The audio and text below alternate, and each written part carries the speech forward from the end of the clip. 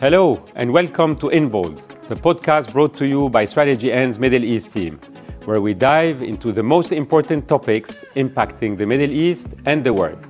My name is Karim Daoud, and this is my colleague and friend Karim Sarkis from Strategy N in Dubai. So, in the second series of InBold, we're looking to lift the curtain on the media industry, global trends, and how they apply to us here in the Middle East. We'll be inviting over the next couple of episodes guests who will share their experience and enlighten us with their perspective of where the industry is going. So sit back and enjoy as we dive in. Welcome everyone to our Experience Center here in Dubai. Today we're sitting with Nick Grande, CEO of Channel Sculptor and founder of MENA TV. Thanks very much, guys. Uh, Look, I really appreciate being invited and having the opportunity to talk with two people I respect enormously in this space. And I hope that we can fix a couple of things along the way and you know have some good ideas on the industry. So yeah, my background I've been in the TV industry for 30 years now, and 22 of those years were in the Middle East. You know, I started here with Showtime in 99, and I set my own business up in 2008. Originally, I guess it was at a time when TV channels were all the rage. I just launched MTV Arabia with Viacom and Dubai Holdings, and I was being approached by lots of people to launch TV channels. I think I don't know whether you're involved in that report where the Booz did back when Showtime was almost IPOing, and mm. there were time 140 TV channels, and everyone said it's unsustainable. And by the time I launched Channel Sculptor, they were already close to a, uh, sort of 800, and they went over a thousand.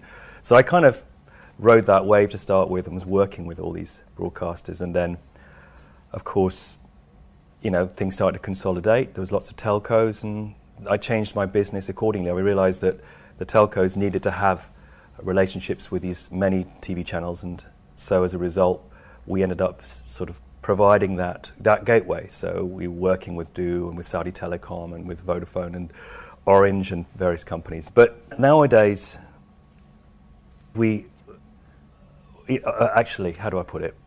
Around 2016, I could see that uh, linear was no longer quite as hot, and the broadcasters themselves were really starting to worry about revenue streams. And so I initially started looking at this as revenue opportunity for them if they looked at their libraries and how they could monetize them. And so we built this marketplace initially to help, particularly the free to air, big Arab free to air broadcasters to monetize their libraries. Mm. But of course, quickly you realized there's a whole market here attractive to the producers, whether they're in South America, in Asia, in Europe, obviously, like in Africa, all wanting access to MENA buyers, and not only the broadcasters, but all these new streaming platforms that were coming up. And so has become for us as a business, the, it's a labor of love. We're still working out how to make it work. I've learnt through the process that it's not a simple thing to connect buyers and sellers in the TV world. But yeah, that's the journey we're on. And finally, I suppose it would be remiss of me not to mention the fact that we love transparency, we love audience data, and we've managed through our partnership with eVision to bring audience data to the region, to passive measurements, so literally measuring the activity on boxes to help broadcasters and the industry understand what's going on without any intervention.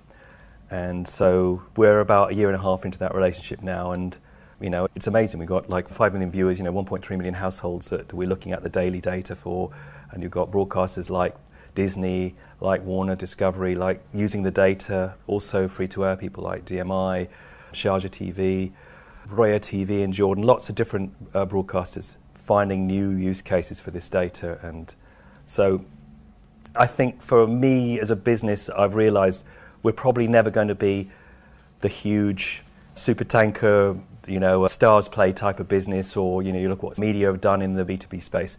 But what we can do and what we do do is create a lot of transparency for the industry and hopefully create more liquidity at the same time.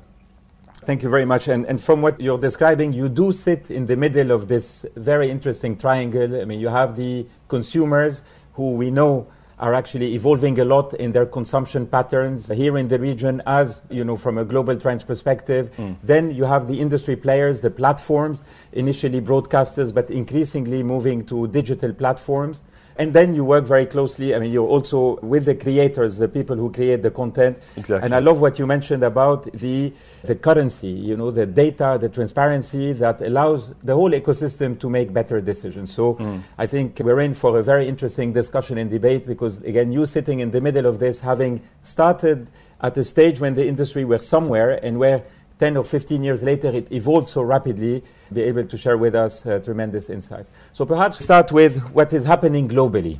Yes, uh, the, mm. this year 2021 22, waking up away from the pandemic, a revival of the whole entertainment and media industry. All reports show a phenomenal rebound in 2022. And then some internal studies we've made at Strategy and PwC show as well this is meant to continue at a very healthy growth rate to 2026, reach a 3 trillion industry, this whole entertainment and media. So mm. this is globally. What is your take on what is happening, a global events perspective, shaping the media globally? Well, it's really interesting to hear those numbers, Karim, and uh, I'm sure Mr. KS over here will have something to say on this one as well. I mean, I, what is intriguing to me is seeing how the industry globally is waking up to the need for profitability. Mm. And so you mentioned this growth prospect, and obviously within that, there's a trend towards more advertising supported content, you know, Netflix being a prime example, and even bringing businesses like Microsoft into the TV content space to work with them, which is very exciting, I think, because you know what that might mean for the way advertising is measured, mm. you know, because for such a long time globally advertising has been controlled by Meta and by Google in large part, and you know having another multi-trillion dollar entity in the mix and one which has a different perspective, working with a business like Netflix, which is so, how do I put it? I really admire the way the Netflix management team have built that business. It's been a very organic process.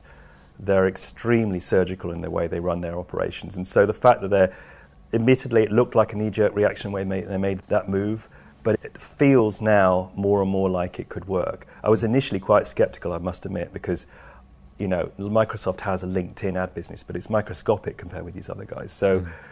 but going back to this point about profitability, if you look at what's happened with the Disney stock price, you know, and then currently, obviously, Bob Iger coming back in, what that means for the business, this potentially this recognition that they can't go completely hell for leather into to D2C. They need, I, I mean, mm. I don't know how this guy is going to adjust the plan, but clearly profitability is on the shareholders' mind. Yes. And these are all private entities.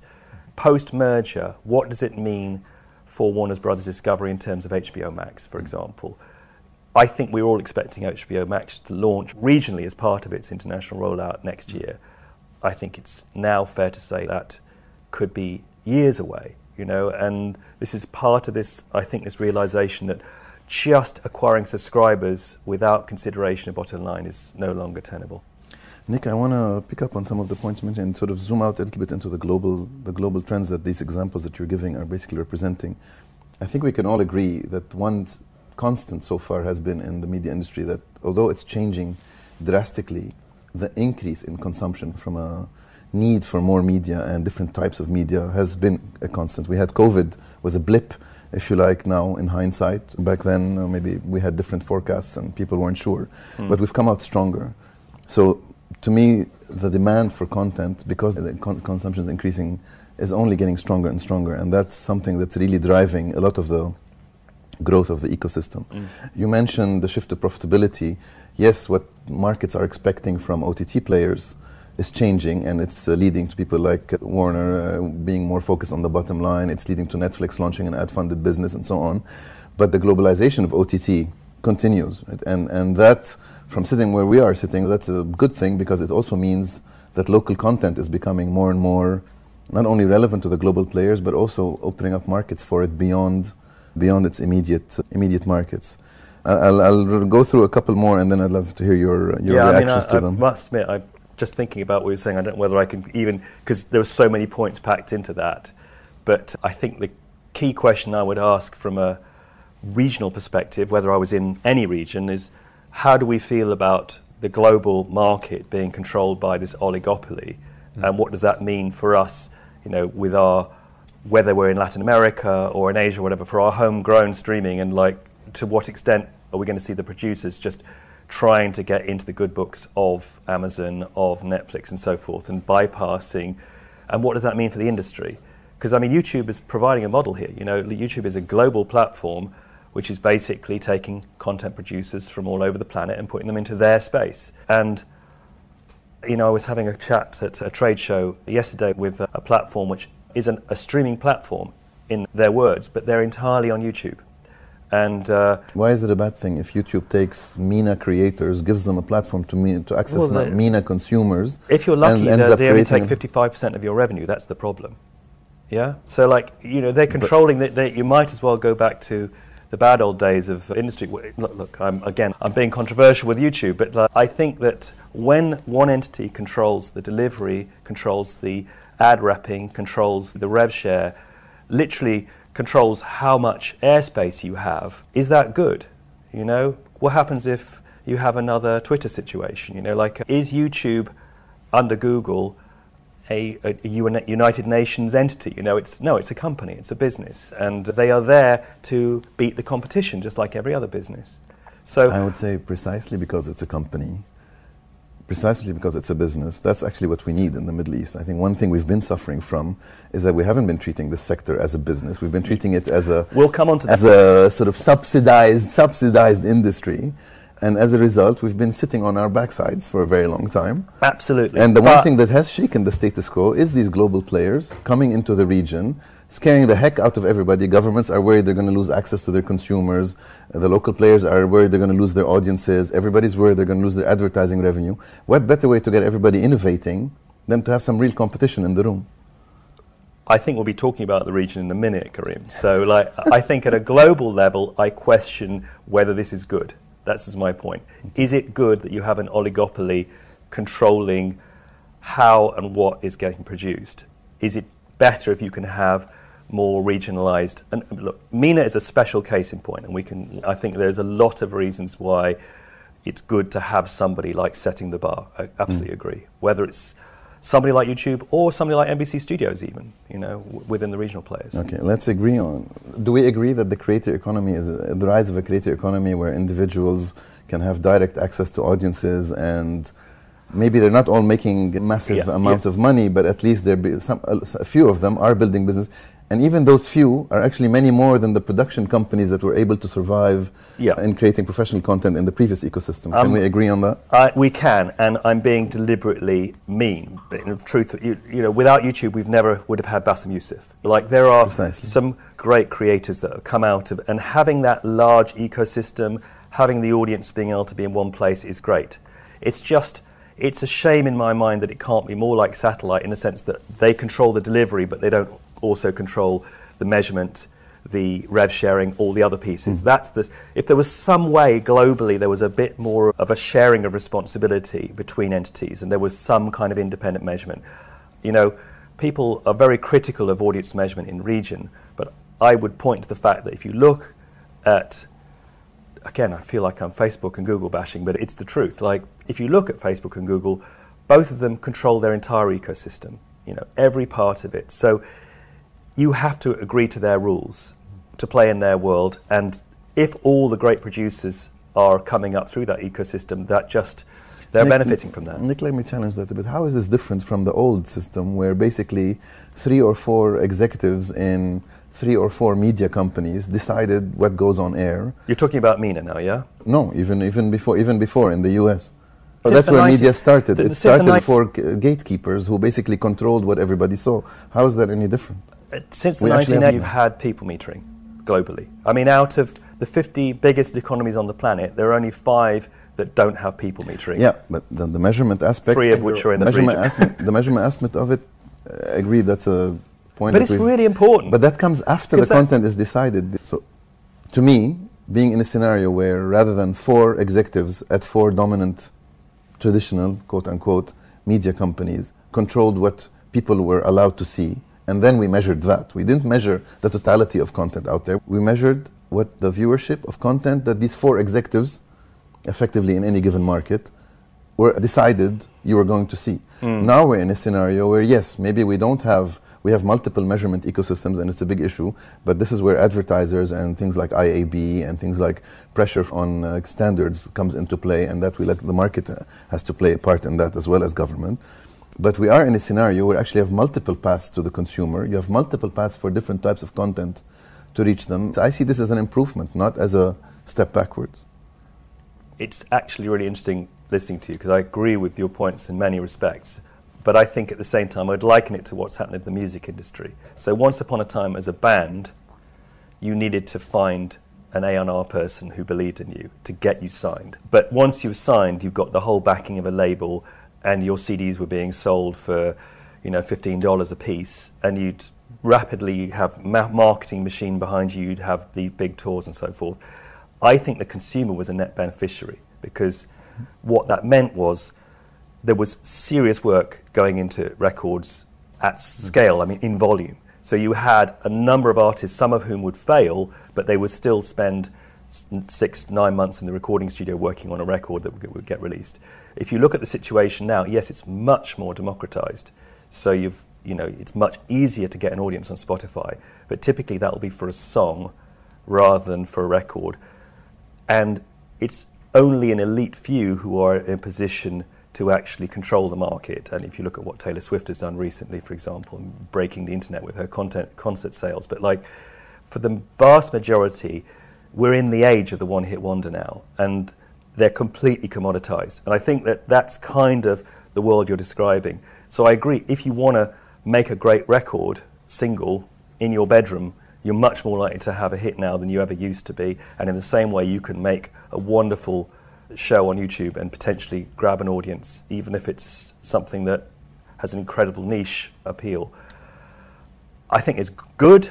I think it's bad. I think it's both. I agree with you, but then I, it frustrates me that you've got one entity controlling everything, or two entities. And isn't if isn't this a classic case of we have a certain situation, then you have the major technology platform disrupting or they're shaking up a status quo that was not at the end sustainable or very beneficial. And then perhaps out of this, and we can talk of it in the third leg of this uh, conversation, mm. something new will emerge, right? Because it will have been forced to, to change. And then this equilibrium of not just a, a tech control oligopoly, but hopefully local platform players who are very much from the region and almost perhaps reflect the identity of the region, as opposed to those global tech giants that have a global commercial agenda. So perhaps something good can emerge of this transition period. Yeah, I in. think the identity thing, you could argue quite strongly that global pl- platforms can actually help in that area because if they're investing well, mm. then it means that content producers, whether it's Netflix or YouTube or whatever, can get an audience more easily in region as well. Yes. So, and uh, get more investment and there's more transparency. So there's, I don't think they're necessarily a bad thing in that respect.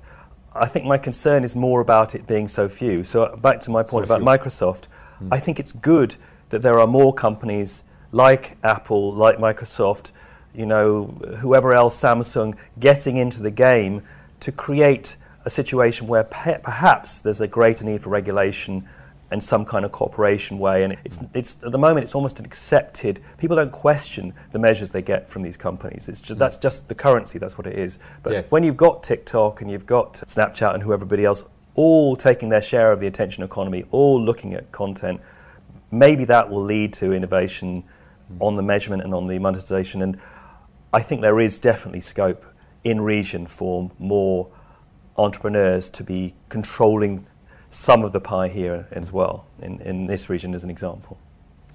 Karim, if we think of the global trends that we've been discussing, increase in consumption, meaning I need more content, globalization of OTT, meaning also I need, it's getting more competitive, but I also need more local content because that's how the OTT guys are getting into into markets, and that's how the local markets are reacting to them. If we're saying ad advertising funded models are still valid, but they're switching to digital, and this is where Nick's point comes in and says they're switching to digital where actually they're being concentrated in fewer players. Yes, there is a challenge, absolutely, but at the same time, for our part of the world, given that most of consumers are not used to paying for content, the fact that we can still continue to offer them content supported by ads is a, is a plus. The, the trends in, in that are happening globally are also applicable to us regionally.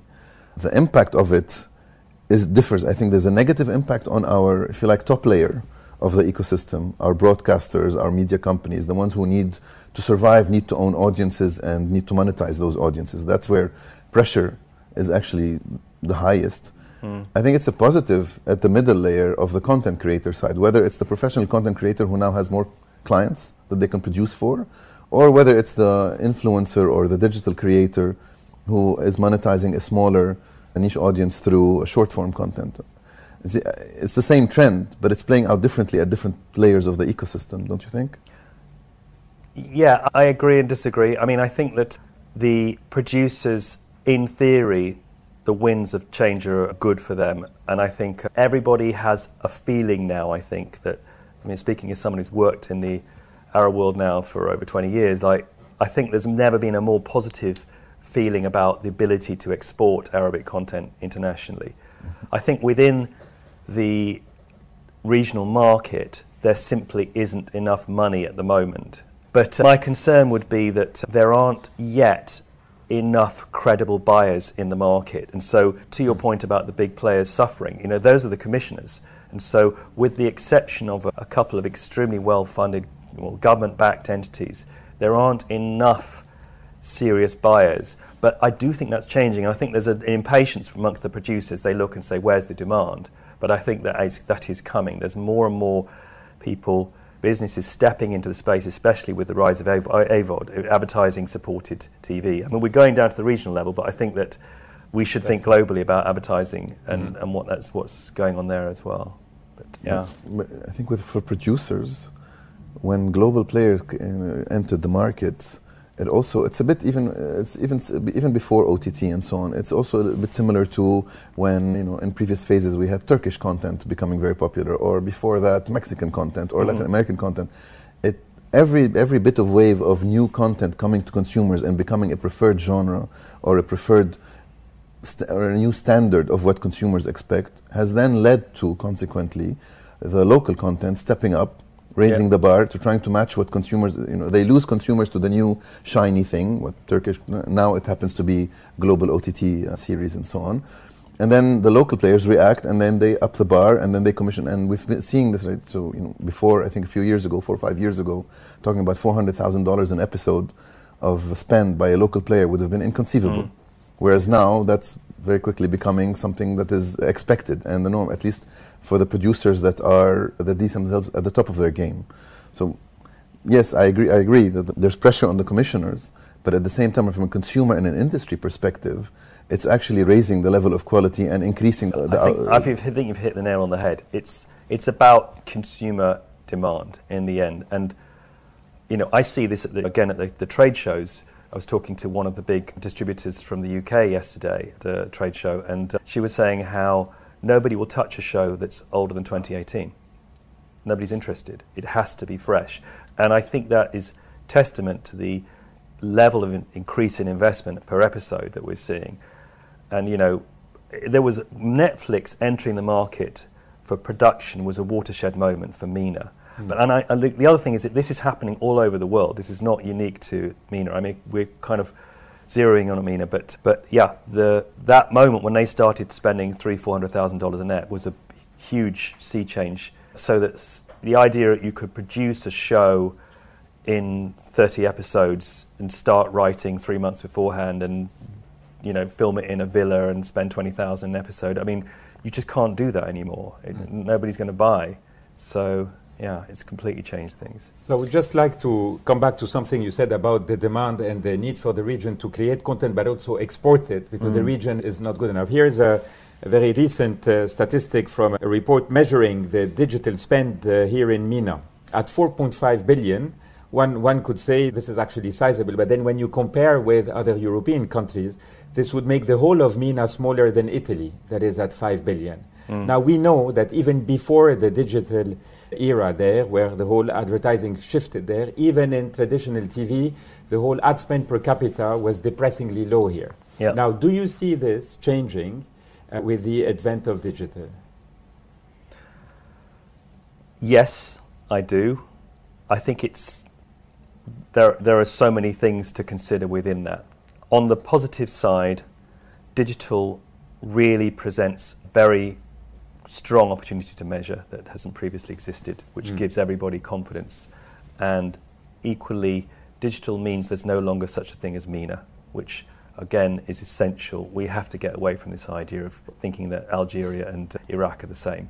One, one interesting facet about our MENA, MENA industry is, unlike other markets, you know, if you look at global trends and global headlines, they're talking about cord cutting, about loss of revenue from pay TV, from cable, and so on, which we didn't even, we never got to that phase. Right? We never got to that phase because we went, you know, in, in the Middle East, we have a tendency to leapfrog the other m- markets because of the pace of technology. So satellite, we were behind, very far behind. We were localized markets. Uh, we had uh, government-controlled media industries, very few number of channels and outlets. Satellite came along.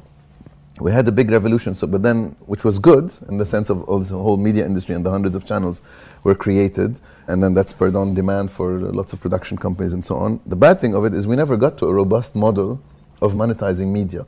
We never had consumers pay for content. And we had this free to air, and Nick mentioned the hundreds of thousands of channels. Those channels, uh, uh, well, what percentage do you think of the thousand channels that existed when you launched, or when you were launching with Viacom, were actually profitable? We, we don't really have this. It's not like I, if I look around MENA today, I can't name five, five privately owned large media companies that have a balance sheet that is robust enough to fight off global competition. I can't find them. I can find if, if you broaden the definition and start saying government backed, indirectly government funded, we start finding them. So we're coming to this point where yes, we have more competition, but rather than seeing it as a negative because it's eroding the wonderful ecosystem that we had, the ecosystem we had was never financially viable for most mm-hmm. 99% of players.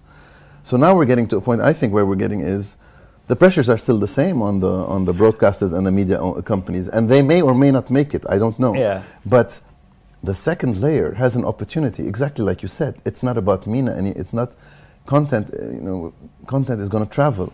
Content is going to be paid for on a higher level per episode than ever before, and this will only increase. Now, is this a great solution for everybody? No, but is it better than where we were before? I think so. Well, yeah, like the going back to your point about the, the number of channels. Yeah, I think it peaked at about 1,200 free to air channels. Uh, you just basically filled up these seven west and 26 east positions, and some of those channels were literally just many of those channels were just slates, or they were purely about religion, or they're purely about a news agenda that's or a particular Or just an SMS Yeah. generating machine Yeah, for a while. but and I think what's interesting actually is that.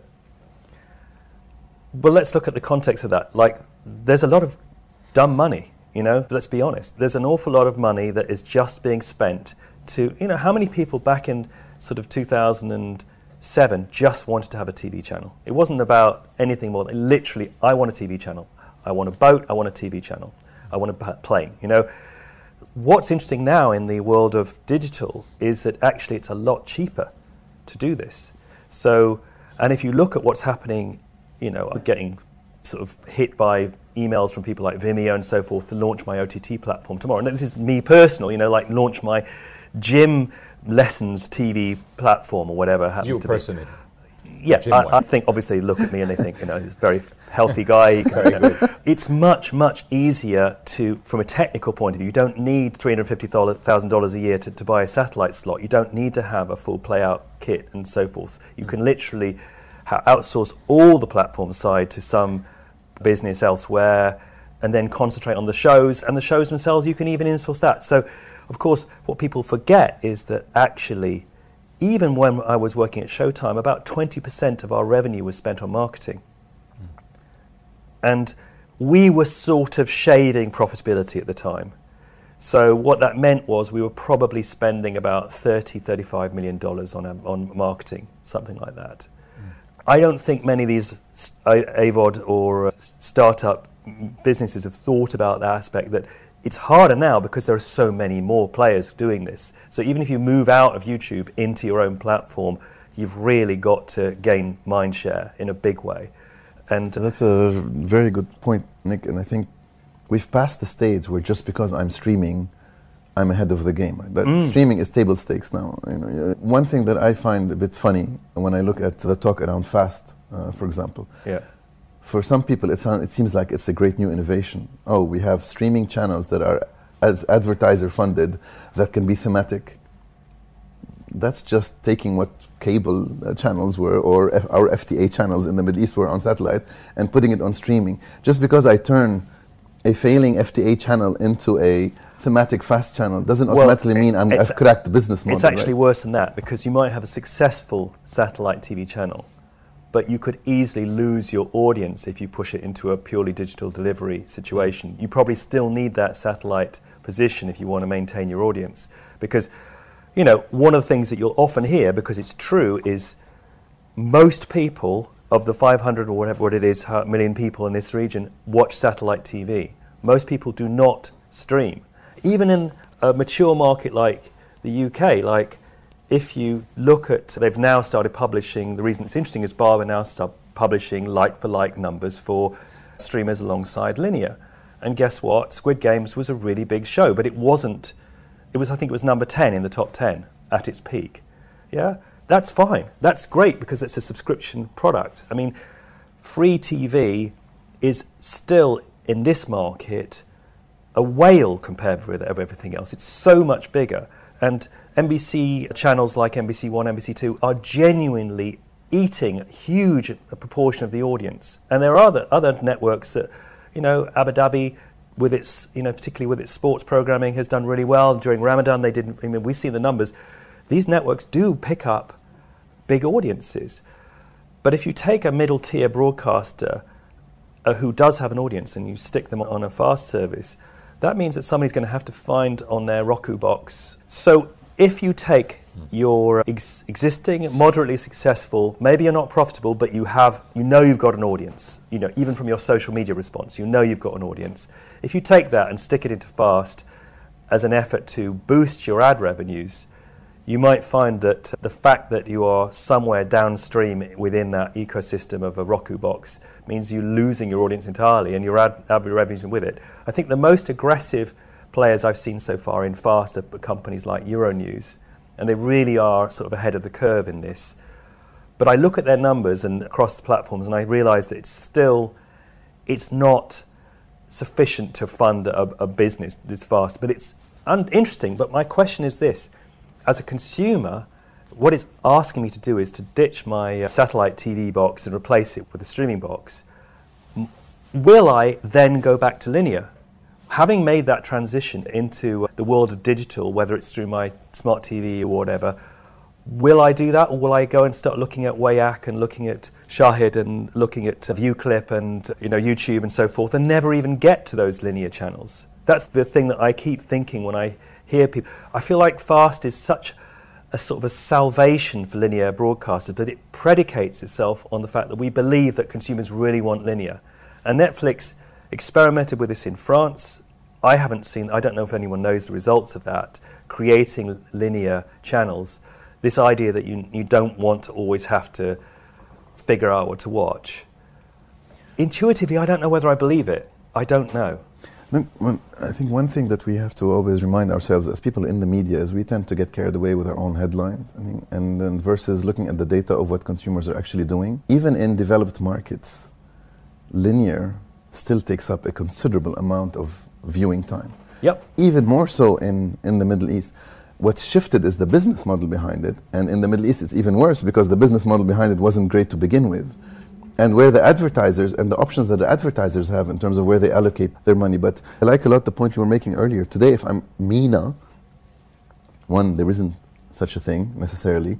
I really have to look at the context of which who is my audience because there are some market. You know, if we look at broadband penetration rates, they can vary as much as you know 40 between 60 to 95 percent depending on what market you're looking at if we look at the speed of broadband if we look at mobile broadband penetration mm. it's not the same the purchasing power of consumers is not the same. You cannot sell cannot come into MENA and suddenly ask people to pay for content and expect all people to be able to afford it. And so this hybrid approach to the markets and understanding who your audience is really has to influence your distribution approach. give you a concrete example of that. Abu Dhabi Media looked at killing off their kids channel at the end of October and uh, they put out an announcement about it and there was an absolute uproar from Instagram and social media feeds where they put it And if you looked at what was being said, a lot of it was, look, I don't have the broadband to watch a digital version of things. Why are you assuming that, you know, I mm. want my channel. We love this channel. It's safe. We want it for our kids. And the, uh, we've seen this through the eLife data. We could see that Majid was a phenomenal channel. And so it was quite perplexing when that, that shift to digital looked like it was going to happen. Thankfully, they changed the decision, and uh, you know, Majid Kids is there. But it, that reaction from the audience, the fact they were given the opportunity to respond, was very valuable. And you know, it's easy from the ivory tower of Dubai or wherever to, to forget that actually you have an audience of, as a broadcasting industry, you have an audience of whatever it is, 30 million people in Algeria or, you know, like these are, Iraq's a big market, MBC are trying to sort of, to, and each of these markets needs different things. They are different evolutions in terms of broadband, in terms of consumer behaviors. Does benefit from piracy, of course. I mean, uh, most set-top boxes are being sold with a dongle, and they're getting everything for nothing, or more, or more or less nothing. So that I think probably helps this kind of concept of connected TV at some level. This brings us to the end of this episode. Thank you so much for a brilliant chat, Nick and Karim. And thanks to you, our listeners, for joining us here today. This was the Strategy&'s in Bold podcast. See you next time.